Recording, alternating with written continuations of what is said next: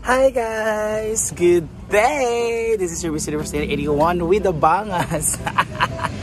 kasi hindi pa ako nakashave kasi uh, wala din akong gupit ha kasi wala, wala akong gana maki, ano, magiging beautiful kasi wala naman lakad, wala ding boyfriend, sa lahat na ganun. Wala tayong gana. so bilay papunta tayo ng market and may pagpabili si Brenda ng ating ulam ngayon. Magpapa may nagpapakain si ano si Ate Macy. Thank you Ate Macy, we love you.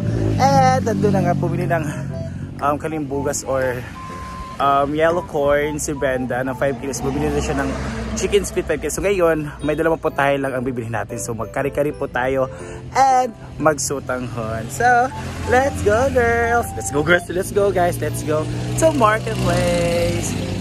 At andito na nga tayo dito sa market ng Hasaan dahil bibili tayo, magpo-purchase tayo ng ating lulutuin. At ayan na pata ng baboy dahil yan po ang ating lulutuin sa ating main dish tonight which is our kare-kare pork kare-kare without alamang. Yan. So, kasi may mauban nga may ma-allergy. Dito naman, ay bumili tayo para sa ating second dish na pansit canton bam e, no, the local version. At dito naman may mga gulay. So, bumili tayo ng gulay para sa ating kare-kare. May pechay with tatay.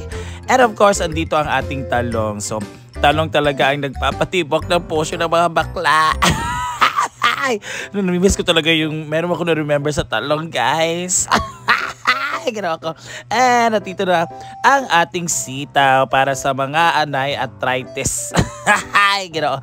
And of course, na sa farm. Pag, pagdating ko dito sa farm, dumiretso ako, kinuha ko diretso yung ating pressure cooker para po maano natin, no, mapakuluan na natin ang ating pork um, Adidas. Pork Adidas?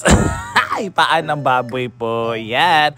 And prepare na tayo sa ating mga ingredients. So, um, inislice ko na din yung ating mga gulay pa sa ating kare-kare. So meron tayong talong, ganyan po, malakihan pong slice dahil po ay hindi natin siya isasahog diretso. So ipapry lang natin siya mamaya. And of course, dito ang ating sitaw guys. Yan, masarap po siya. So merong mga pa, ano siya, tali-tali. Nakita ko sa video kung paano maggumawa ng kare-kare. May patali-tali, hindi, ko, hindi ba ko marunong. So ganyan na lang siya, pa straight na lang at least or ba, pa straight na lang siya at least meron tayong sitaw na makita. Ito complete our curry-curry. Ayan. And of course, andyan ang ating mga pecha. Kinuha ko lang yung mga matitigas na part niyan.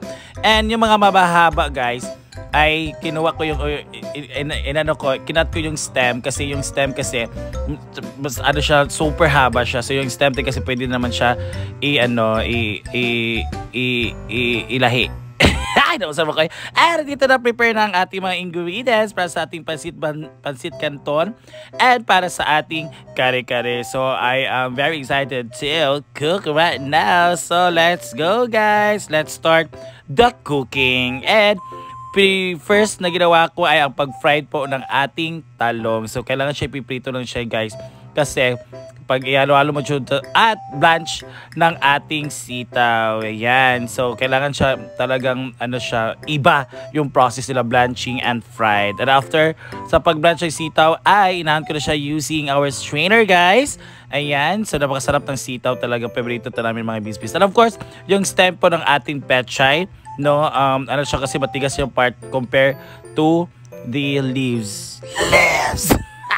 Ay, ginoo. Ayan na. And strain ko, strain ko na siya. And nilagay ko na ang ating last step for blanching ang ating um, petchay, dahon ng petchay. Ayan. So, ilagay din ko siya para ma, um, maano siya lahat, ma, malambot. At ayan na, kumukulo na yung mantika siya. So, inunahan ko yung may mga taba-taba para pumunta sa kanang yung oil. So, after that, ay, inunod na natin ang ating mga spices, ang ating sibuyas at ang ating bawang. Oh my God. And mekos-mekos lang guys. Ayan, ayan, ayan, ayan. Sama natin yung mga may matataba tayo dyan na paan ng baboy. Ayan, pak, pak, pak, pak. O, oh, diba? Ang sarap na tingnan guys. Ulam na siya. Wala pa nga, hindi pa nga naging kompleto yung process. Naging ulam na siya tingnan. Ay. And, yan, uh, minalo ko na lahat ng part ng pinakuluan nating pata ng baboy, guys. Ayan, pack. So, lagay-lagay lang yan para po maano siya magisa. Kasi, iba talaga magisa yung mga paan ng baboy or mga ganito mga karne-karne kasi nalablabas yung namnam at amoy ng karning baboy. Di ba? Alam niyo naman yan pag may gisa-gisa na process. So, inalo-halo ko lang siya guys. Ganyan-ganyan. So, nilagay ko na siya ng paminta at ng granules. So, kayo nang bahala ko anong granules na nilagay niyo. Basta nilagay ko na siya ng Hindi ko lang na-videohan kasi nalimutan ko. So, bekos-bekos para po lahat ay ma-test. But so, hindi ko na videohan. Nilagay ko na po yung sabaw ng ating pinakluang pata ng baboy. So, after one year and a half, kumulo na po siya. So, dinagay na natin ang ating asweti, guys. Ang asweti po ay ang pampakulay lang po siya. So, ganyan talaga ang kare-kare. It's color orange. Meron din color yellow. Eh, bakit ba yellow? Eh? Basta it's orange mostly. So, ganyan po siya. Ma ganyan po siya ang kulay dapat. So, um, mekos-mekos natin guys. Yan. Kaya para ano, para ma-distribute yung color ng ating aswete sa lahat ng party ng baboy. Lahat ng party ng baboy. At ngayon naman ang kanyang main um, ingredient which is our peanut butter. So kare-kare is not kare-kare without peanut butter. And alamang, nalimutan ko na yung alamang. Pero kaso, kaso ang ginaya ko kasi na pagluto is without alamang. Kaya without alamang siya. Sabi ni Gwen, lagi ka maring masarap tong may alamang ko. Ayaw ko kasi may alamang kasi hindi natin alam yung iba. Ayaw ko kumain kasi may allergy, di ba? So meron naman tayong alamang dyan. So sila lang po ang uh, mag maglalagay ng kanilang alamang. So pwede naman yun guys. Kayo na mag, yung mga hindi allergy kasi yung iba kasi allergy, 'di ba? Kasi seafoods I do, basta most of the allergy is coming from the seafoods. Uh, is um kasali na ang alamang. So nilagay ko na din siya ng harina guys para po pampalapot. Masarap po ang malapot. you know? So masarap ang ang malapot po na sabaw para po kasi dinamihan ko siya kasi sabi ni Brenda damihan mo na sabaw kasi masarap yung sabaw. So, the last part will be putting our putting lalagyan na natin yung mga na process na natin ng mga gulay yung talong, yung string beans, ayan or yung batong and of course itong ating pechay, ayan. So, nilagay-nilagay ko lang siya guys. Ayan, last pa ang ating dahon kasi yung dahon po ang uh, madaling malambot. Ayan. So, Iyan ko lang siya sa medium heat guys para po ma-absorb na mga gulay ang sabaw ng ating kare-kare. Ayan. So this is a version of meu kare-kare without alamang. So kain guys. And side naman yung luto na nandito sa kilid yung si kare-kare. Ay nagluto na ako ng um, pansit bami. So this is a special pansit bami of Maring Mar. So yan ang process no, niluto yung karne, yung sahog, yung mga yung sibuyas dahon, sibuyas dahon, sibuyas at bawang, yung mga gulay, ganun, gisa-gisa lang siya. Tapos kayo na ba sa black powder pepper. Alam niyo naman kasi na, na-vlog ko rin to. So after this po, ay after a while, after na pagluto ng cabbage, ayun, okay na. So, separate yung mga gulay, guys. Magsabaw para sa ating, ayun, tanghon. Yan, ang ating pansit tanghon. Basta bami man to sa amin. Ang tawag sa amin yan is tanghon. Yan.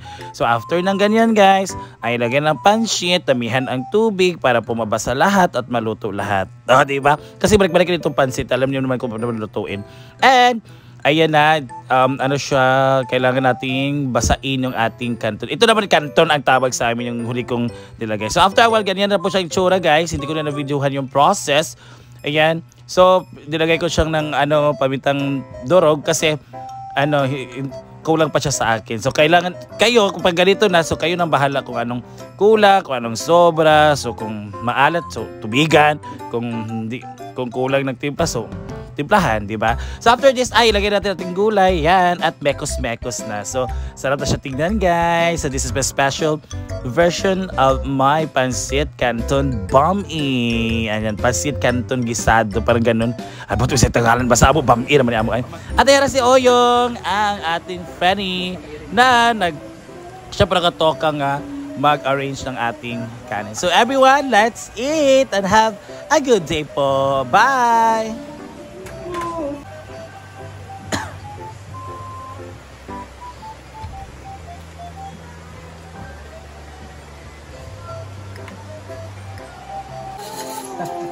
Ay naman, yay! Let's eat! Thank you so much, Ate Bisi Michelle, for the kari-kari and for our tanghon. Tanghon? Um, bami, gisado meron tayo dito. At meron tayong pa, hindi natin sinerve kasi pwede ito bukas. Kasi masarap itong magbahaw. And meron pa tayong pansit. Ang dami po. Thank you so much, Ate Macy Michelle. Meron pang kare-kare na sabaw. That's it.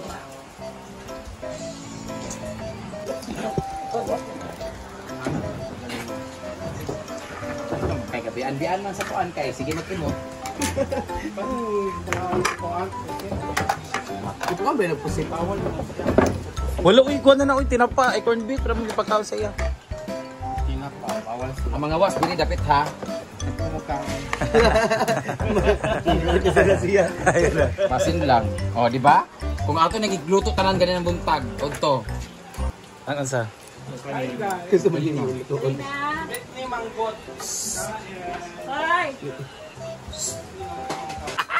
Welcome na sa ganda. lecture ay bonus. Pasalino sa inyo yung tao. Sige na, go. Ah, smile mo dala. Ah, smile. Oh. Dito ka dapit. Smile. One, two, three. Kailangan dyan kayo pasalamat niya, Miss Ate Macy ba yan? Alam na.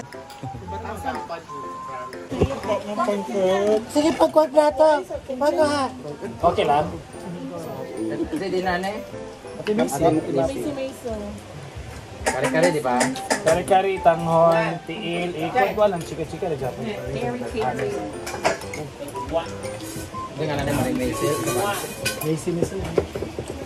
Nanonood pa. Ay, ito, dito? Ay, along. Ay, bro, bro, bro. Ah, di Macy, thank you sa pag-dinner. Sa picture. Nanonood ako. Yaya ko.